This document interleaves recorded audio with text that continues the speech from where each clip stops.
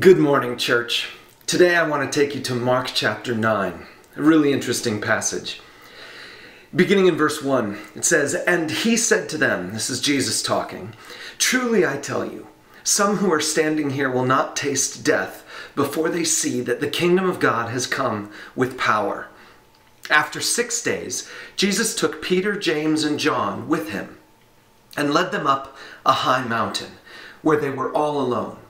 There he was transfigured before them. His clothes became dazzling white, whiter than anyone in the world could bleach them. And there appeared before them Elijah and Moses, who were talking with Jesus.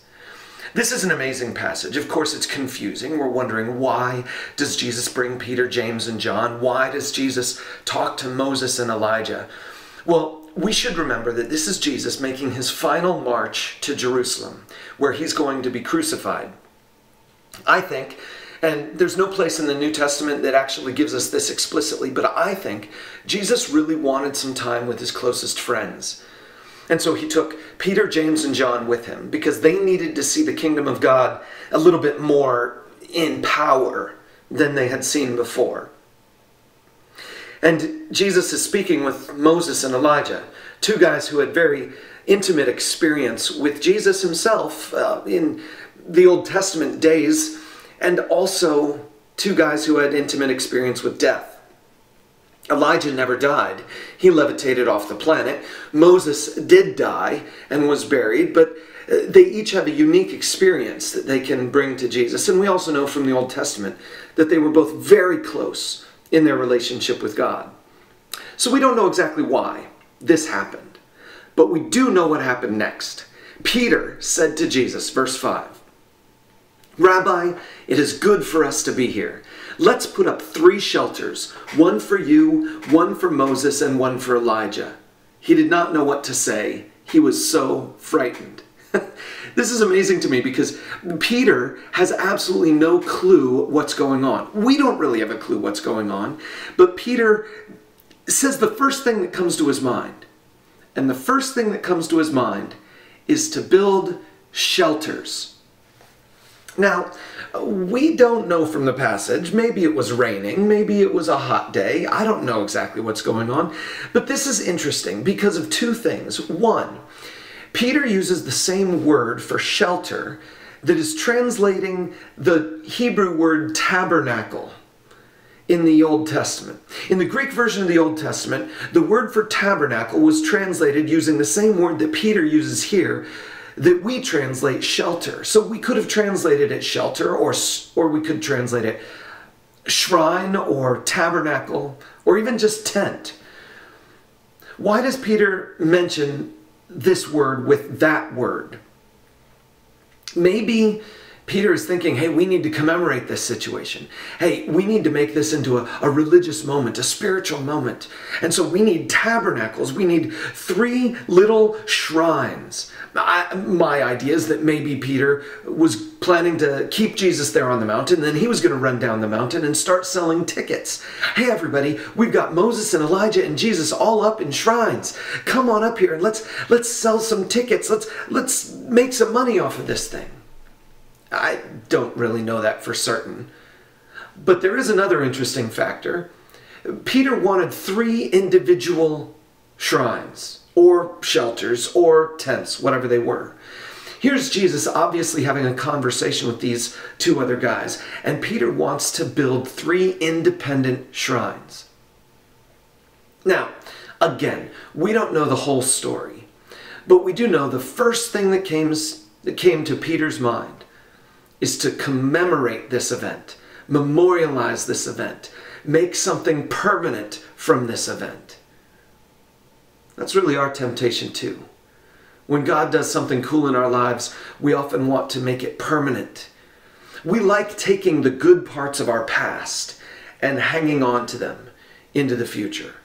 But look what happens next.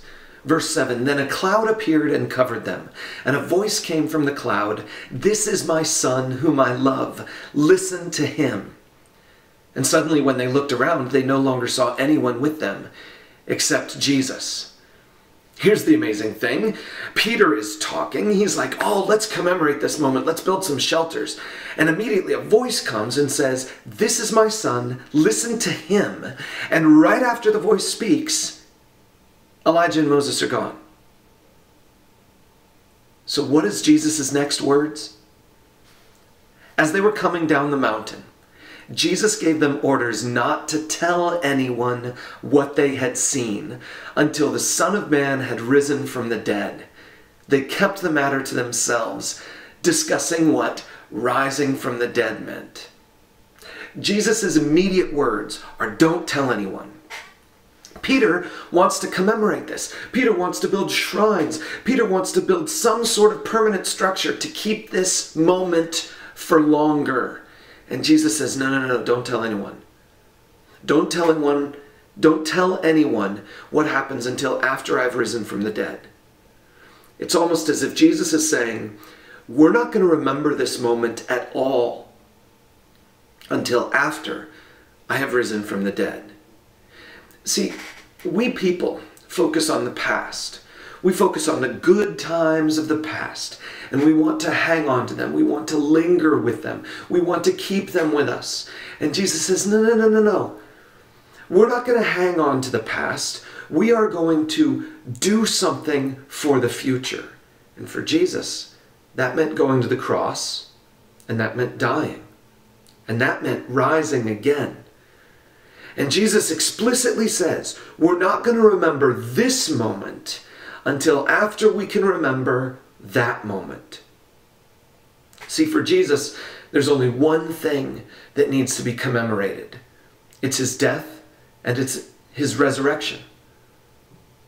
In a couple weeks, we're going to celebrate Easter, and we're going to celebrate Easter in the weirdest possible way, where we are going to be in our own different homes and we're going to be gathering together by technology.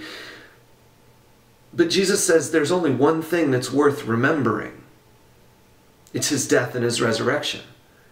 And for Peter, it hadn't happened yet, and so Peter shouldn't commemorate anything else. But for you and me, it has. In fact, the only ceremony Jesus ever gave to ask us to commemorate him is communion. This next Sunday as a church, we get to celebrate communion together in our own separate homes Later on this week, we're going to give you a recipe for making some unleavened bread in your home. And uh, then we're going to celebrate communion together on Sunday. It's going to be an interesting way to do it. But I just want to remind you of this. As human beings, we love to take the good parts of the past and hang on to them. We love to take the bad parts of our past and dwell on them. And Jesus says, no, there's one thing to commemorate his death, and his resurrection. Everything else, even Jesus being transfigured on a mountain and talking with Moses and Elijah, everything else pales in comparison. Let me encourage you. If you're hanging on to the past, make sure there's only one thing you're hanging on to. That's Jesus, his death, his resurrection, and what it means for